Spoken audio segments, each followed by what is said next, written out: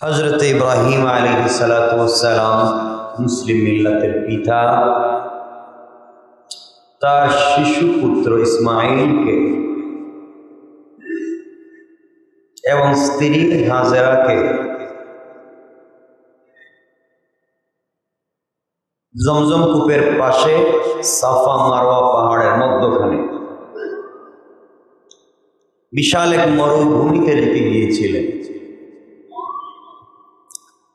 যাওয়ার সময় অনেক দূরে চলে যাওয়ার পরে আল্লাহর কাছে দোয়া করেছিলেন, আল্লাহ,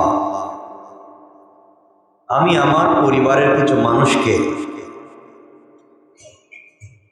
আবাদহীন একটা উপত্যকায় পবিত্র ঘরের কাছে বসবাস করবার জন্য রেখে আসলাম।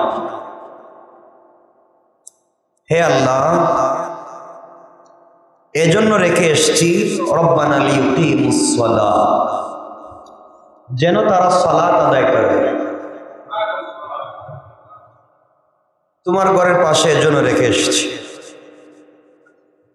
অতএব আপনি কিছু লোকের অন্তর তাদের দিকে অনুরাগী করে দেন।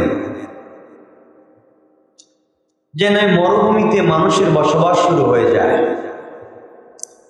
এবং ফল, ফলাদি দ্বারা তাদের রিজিকির ব্যবস্থা করে দিন। যাতে তারা তোমার শুক্রিয়া আদায় করতে পারে। এই দোয়া ইব্রাহিম আলী সাল্লাম করেছিলেন, আল্লাহ তালার হুকুম পালন করবার পরে। আল্লাহ হুকুম করেছিলেন, ইব্রাহিম,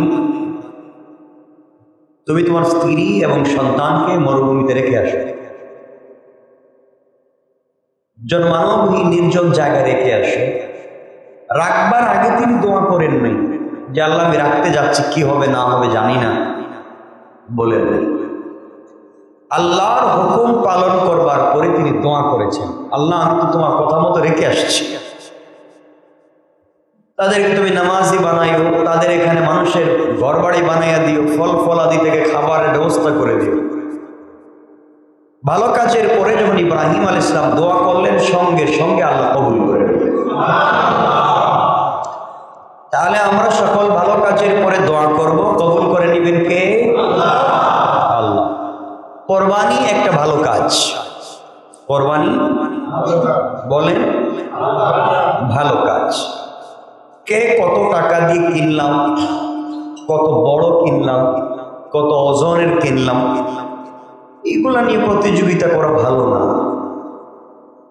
দিন থেকে আল্লাহ পাককে সন্তুষ্ট করবার জন্যে ছোট্ট থেকে ছোট্ট একটা খাসি বা দম্বাও যদি হয়, আর তাও যদি রবের কাছে কবুল হয়ে যায়, সেটা নাজাতের ওসিলা হয়ে যাবে।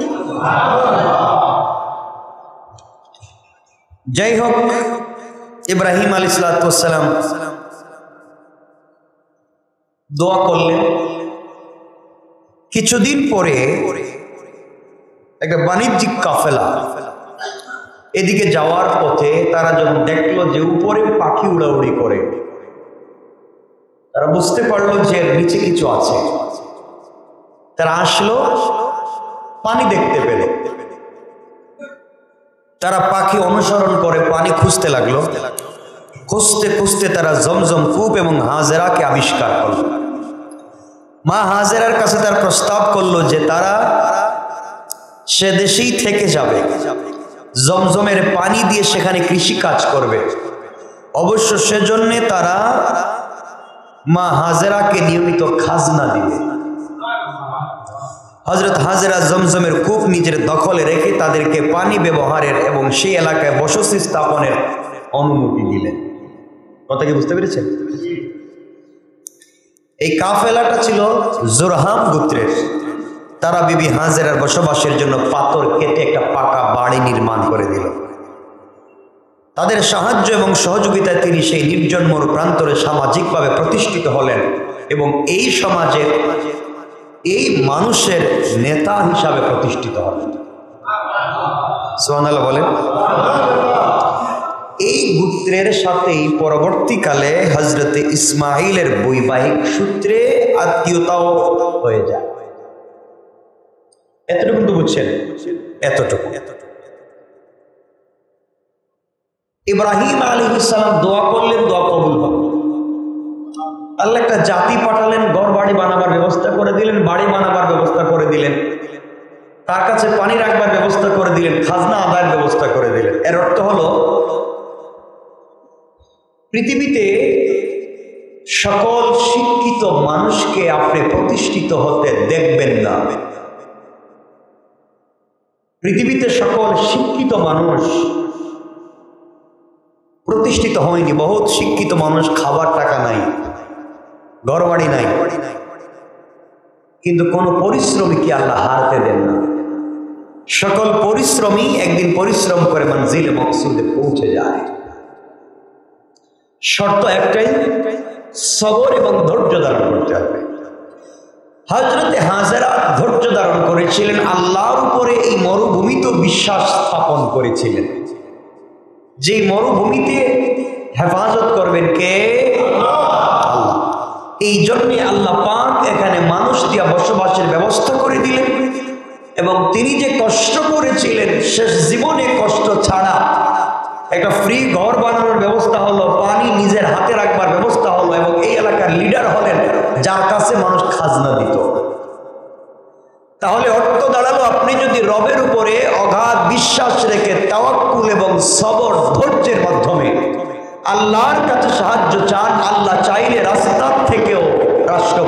বানাইয়া দিতে পারে। পারে না? পারে। হজরতে হাজেরা ছিলেন চাষি এই ইতিহাসে আমি যাব না। হজরতে হাজেরা ছিলেন সেবিকা। হজরতে সারা। সেবিকা থেকে হয়ে গেলেন মুসলিম মিল্লাতির পিতা ইব্রাহিমের স্ত্রী। আল্লাহ পাক সেবিকা থেকে বানালেন আমাদের রসুল আসার আগে জবিহুল্লাহ ইসমাইল আলী সালাতামের মা। সুবহানাল্লাহ বললেন। আল্লাহ পাক এই ধৈর্যের কারণে, সবরের কারণে আল্লাহ এক সময় তাকে বানিয়ে দিলেন গোটা এই মিল্লাতের মুসলমানদের মা পড়েন সুবহানাল্লাহ। এজন্য ধৈর্য ধারণ করতে হবে, সবর করতে হবে। আজ না হয় কাল আপনি মঞ্জিল মকসুদে পৌঁছতে পারবেন। পথ ছেড়ে দেওয়া যাবে না, হাল ছেড়ে দেওয়া যাবে না। যারা ছেড়ে দিল, তারা তো হেরে গেল। আপনি ধরে রাখলেন, আজ না হয় কাল সম্ভাবনা আছে। মঞ্জিল মকসুদে পৌঁছে যাওয়া। বললাম না? দেখবেন, হরিণের গতিবেগ, হরিণ যে হরিণ, হরিণের গতিবেগ ঘন্টায় কমপক্ষে আশি কিলোমিটার ধরেন বা একশো কিলোমিটার ধরেন একটা হরিণের গতিবেগ।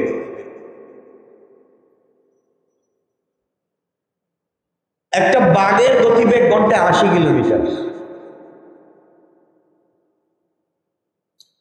একটা হরিণ রাস্তা দিয়ে দৌড়াচ্ছে, পিছনে বাঘ। বাঘটা ভুকা পাকা কিছু খায়নি খায়নি। তার সামনে আছে শুধু হরিণ। তার চিন্তা হলো মরি আর বাঁচি। জিনিস তো মাত্র একটাই। বেঁচে থাকতে হলে তাকেই খেতে হবে। এই জন্য সে হরিণের পিছনে দৌড়া জীবন, মরণ, সে দৌড়াতেই আছে হরিণের পিছনে। হরিণও দৌড়ায়। হরিণ তো আরও চালাক, সে কিছু দূর যাওয়ার পরে পিছন দিকে তাকায়া দেখে কত দূর আসলো। বুঝেন নাই? হরিণ পিছনে তাকায়া দেখে যে এটা কত কত দূর আসলো। বাঘের পিছনে তাকাবার কোনো সুযোগ নাই, যা আছে তা সামনে। কি বলেন বাসি আর মরি, যা আছে সামনে, আর তাকাবার কোনো সুযোগ নাই। সামনেই তাকাতে হবে, বেঁচে থাকলেও সামনে, মরে গেলেও সামনে, যা হবে সামনে। এই জন্য বাঘ তার টার্গেট ঠিক করে ফেলেছে, আমাকে পিছনে থাকাবার সময় নাই, সামনেই তাকাতে হবে। আর হরিণ, সে চালাক জিনিস তো মাঝে মাঝে পিছনে তাকায়া দেখে কতটুকুন আসলো এই একশোবার তাকাতে গেলে আপনি হঠাৎ করে যদি দৌড়াচ্ছেন পিছন দিকে তাকান, আপনি ভূষণকে স্লো করা লাগবে। কথা কি ভুল বললাম? আপনি কো দৌড়াচ্ছেন, এই দৌড়ানো অবস্থায় পিছনে তাকাতে পারবেন না। আপনাকে একটু স্লো করতে হবে। হরিণী যতবারে পিছনে থাকা, একটু স্লো হয়। যত স্লো হয়, বাঘ তত কাছে আসে। দিন শেষে দিন শেষে এই হরিণকেই বাঘ শিকার করে। বা হরিণে তো দ্রুত গতিতে থাকবার পরেও বাঘ তাকে শিকার করে। এর অর্থ হলো, বাঘের লাইফের টার্গেট পণ আর প্রতিজ্ঞা হলো, যাই হবে সামনে। বাঁচি আর মরি, যাই হবে কিছুক্ষণ সামনে, কিছুক্ষণ পিছনে। এজন্য যারা জিন্দগিতে সফল হয়, পিছনে কি হারিয়ে আসলো, পিছনে কে গালি দিল, পিছনে কে বদনাম আর সমালোচনা গীবতের শিকায়ত করল, আপনি পিছনে থাকাবার সুযোগ নাই, সময় নাই। আপনি সামনের দিকে দৌড়াতেই থাকেন, একদিন আপনি মঞ্জিলে মকসুদে পৌঁছবেন আর যদি মাঝে মাঝে আপনি পিছনে তাকান, যে শয়তান আপনারা দিবে কথা বুঝছেন আপনারা আমার? এর জন্য আমাদের জিন্দগির পণ আর প্রতিজ্ঞা হচ্ছে রবকে সন্তুষ্ট করা। কাকে সন্তুষ্ট করা? সবাই বলেন রবকে সন্তুষ্ট।